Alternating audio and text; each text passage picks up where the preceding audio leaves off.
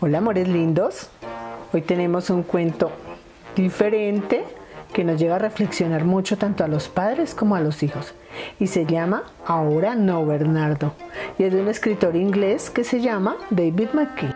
Hola papá. Dijo Bernardo. Ahora no, Bernardo. Dijo su papá. Hola mamá.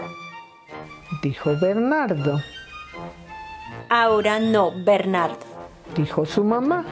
Hay un monstruo en el jardín y me va a comer. Dijo Bernardo.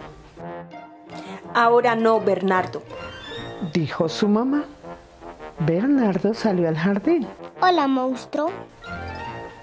Le dijo al monstruo.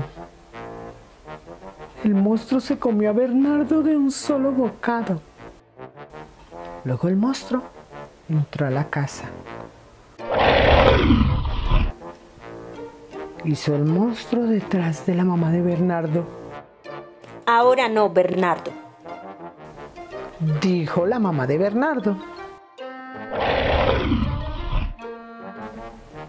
El monstruo mordió al papá de Bernardo. Ahora no, Bernardo. Dijo el papá de Bernardo. Tu comida está lista.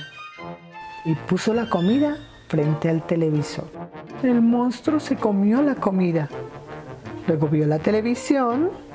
Después leyó una de las historietas de Bernardo y rompió uno de sus juguetes. Vete a la cama. Ya te subí la leche. Dijo la mamá de Bernardo. El monstruo subió las escaleras. Pero yo soy un monstruo. Dijo el monstruo. Ahora no, Bernardo. Dijo la mamá de Bernardo. Y colorín colorado, este cuento se ha acabado. Queridos papás, no seamos como los papás de Bernardo, que ignoran a sus hijos y ni siquiera lo notan. Ahora, amores míos, van a hacerme un dibujo de lo que más les ha impactado de este cuento. Chao, amores lindos.